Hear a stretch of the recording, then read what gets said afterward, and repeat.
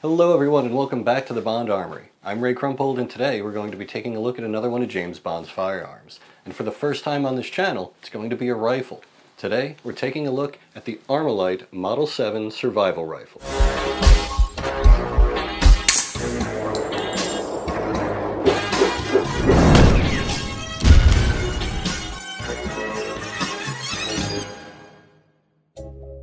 I've already safety checked and emptied the firearm, so let me introduce you to the AR-7, the Armalite Rifle Model 7. Uh, this was originally developed in 1959 by Eugene Stoner over at Armalite, um, hence the moniker AR-7. Uh, same as the current production AR-15s, it's Armalite Rifle Model 15, not Assault Rifle Model 15. Whole other thing, we won't get into that. Back to the rifle. Anyway, it was first developed in 1959 by Eugene Stoner over at Armalite. After that, production uh, went over to Charter Arms, and most note, and now currently over to Henry Repeating Arms Company, which is what this one is. Uh, now, for all intent and purposes, this is the same uh, same gun. Uh, there are some different finishes and things that are out there. They are extremely rare to get one that is completely screen accurate. Um, they're just impossible to find, and when you do find them, they fetch a very, very high price. Uh, so if you do want an AR-7 of your own, Henry Repeating Arms is currently manufacturing them. You could always give a paint job if you want. Anyway, uh, where does this fit in with Bond? It's used in three different films. Most notably in From Russia with Love, we see it in the assassination scene. Uh, we also see Bond using it to shoot down the Spectre helicopter. Now, we do see it in two other films. Uh, very briefly, we see in Goldfinger, Tilly Masterson uses the AR-7 to attempt to assassinate Auric Goldfinger, and then we see it very, very briefly uh, with George Lazenby in On Her Majesty's Secret Service. Now, I'm going to show you why this gun is so cool and how it breaks down and all fits into the stock. It is very Q branch, and I think that's why it was the perfect rifle uh, for James Bond. What makes the AR-7 so unique is that everything is conveniently stored within the stock itself. To assemble it, you simply take off the butt pad, and you'll find all your components. You have your receiver, two magazines, and the barrel. Let's take everything out.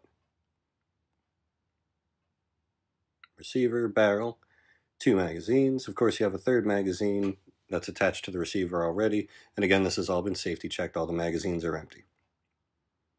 Let's take a closer look at the receiver. Next to the trigger, you'll find a bar, and that's actually your magazine release. Give that a push, the magazine slides right out. Double check, empty chamber. Now to assemble it, you're going to put the receiver on top of the stock and slide it into position. And then underneath, there's a little knob that you have to twist. That engages a screw, which connects to the receiver. Hand tighten, If you look on the threads, there's a little notch, and that notch is where the barrel pin goes.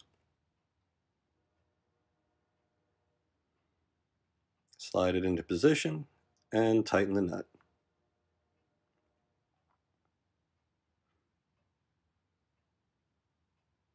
And just like that, in under a minute, you have a fully assembled rifle.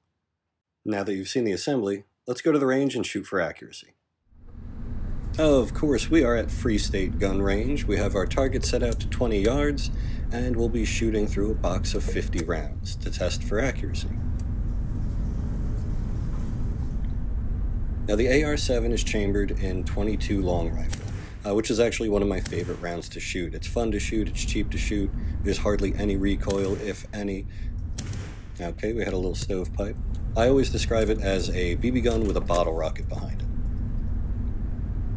you can shoot all day with 22 just plinking and having a good time.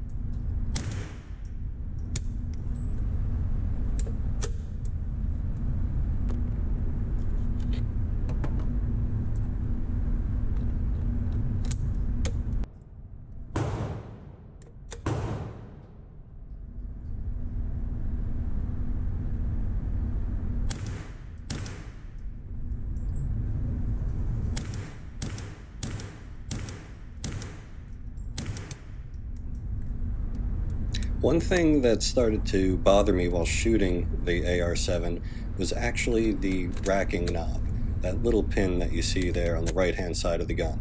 Every time I would put a new mag in and I'd have to cock it back, uh, it just started to tear up my fingers after a while.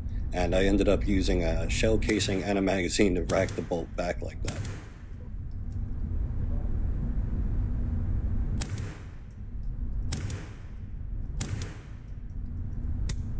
If you watch the muzzle of the rifle, you can see there's hardly any rise because 22 is such a small round.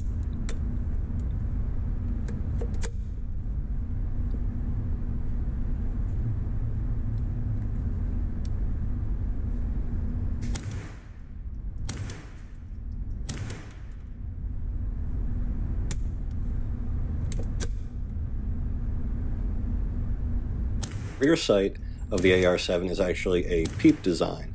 So it's a small ring that you have to look through and then match up with your front sight, which is that blaze orange up front. I'm not a huge fan of this type of sight, but it did work very well. And you can see I'm getting frustrated with racking the knob back and just having a real difficult time with it. And another stovepipe. Now that's an issue with 22 ammunition. I, I wouldn't consider this something wrong with the rifle itself. 22 tends to be so, so mass produced that it has a lot of issues. It's a very dirty round. A lot of people complain that the AR-7 is uncomfortable to shoot because of how wide the stock is. Um, because it's used as a storage compartment, it has to be big. Um, I really didn't find that to be the case. I thought it was quite comfortable. Wasn't awkward at all.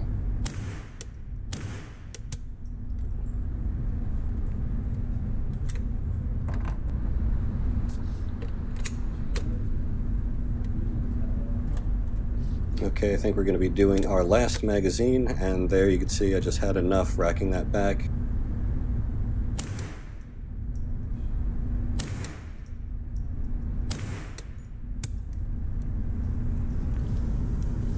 Alright, let's bring in our target and see how we did for accuracy.